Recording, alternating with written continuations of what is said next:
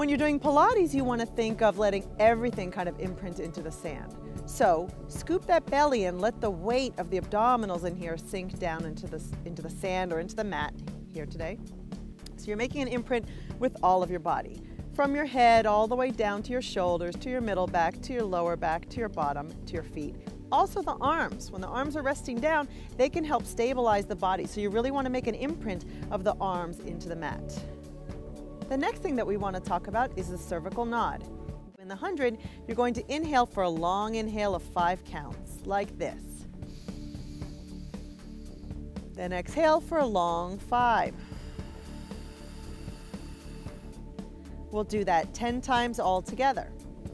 Draw your knees in towards your chest to get started and begin with that cervical nod and cervical curl.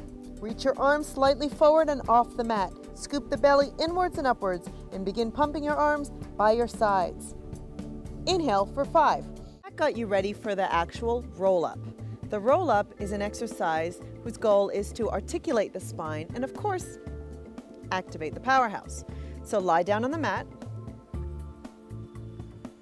Okay, think of the imprinting heavy bones into the mat. Place your legs in Pilates stance and flex. So we'll be a little bit rotated today. Really think of that nice wrap, squeezing the legs.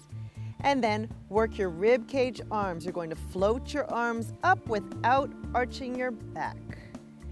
Start here, and if you find that the exercise is too difficult with straight legs, you can always bend your knees. Inhale, bring your chin towards your chest and round up. Exhale, stretch forward. As you go forward, scoop your belly back. Press your belly back towards your spine. Inhale, down around, exhale up. And inhale, down around, exhale up. Bend your right knee again. Place your foot flat. Try the reverse direction. Open slightly, down around and up. One more time. Inhale and exhale and hold. Really scoop the belly inwards and upwards and slide your shoulder blades down your back. Great job. Now place your feet down and carefully lie all the way down for the single leg stretch.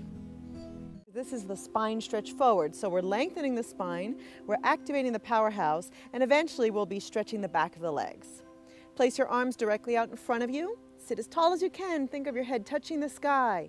Inhale, bring your chin towards your chest first. Round forward, scoop your belly back. Exhale and stretch.